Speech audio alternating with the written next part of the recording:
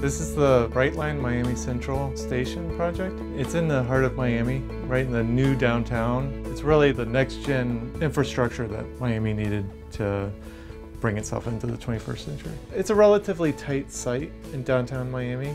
One of the things with coordinating all of the heavy beams that are being positioned on the piers is that we need to be able to pull the delivery trucks right up off of the tracks basically and be able to access those with some heavy lift cranes. We had planned it out, but it was really simple that the truck will come in, crane will pick and then set it up. But we didn't realize that there were so many obstacles on the street. We thought that let's use the scanner and then get the whole area around and bring it to the model. Once we did that, then we realized that we're talking a whole different scenario here. There is a lot of obstruction. The crane that we picked earlier were not valid because the plan changed completely. Once we realize that there's a need for the scanning at this point, we bring in the scanner, do the scanning at the site, and it usually takes about an hour depending on how much data we want to collect hour to two hour. Then we bring that data back to the office and then stitch it together in Scene software. Using that data that we collected, the point cloud, we bring it back into our model which we use Revit right now, and then we bought the scan data in the model. Based on that, we create generic model based on the scan data. That's how it gives us a 3D model off of all those scan point data, and then we can use those to do whatever the logistic works that we have to do. Once we got past that, it was a lot easier for me to schedule the equipment, sizing, not only that, but it gave us a much better idea of crane paths, where we could sit, where we couldn't sit.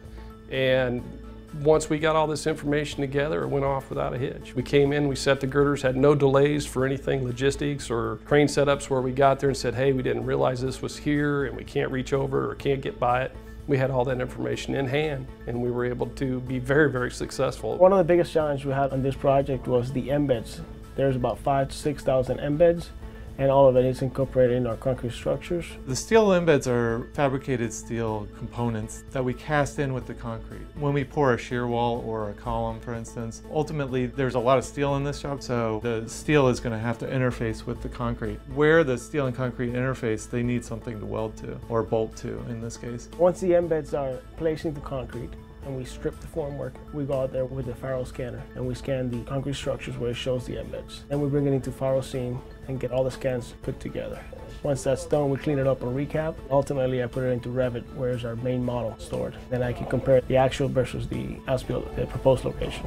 We chose to use the Faro Focus 3D X330. It has a 330 meter range, which is important to us. A lot of our jobs are large, and because we're so interested in scanning for context, it gives us a lot of the surrounding cityscape that we're looking for. Based on my experiences, concrete's probably the best application of the scanner in my mind.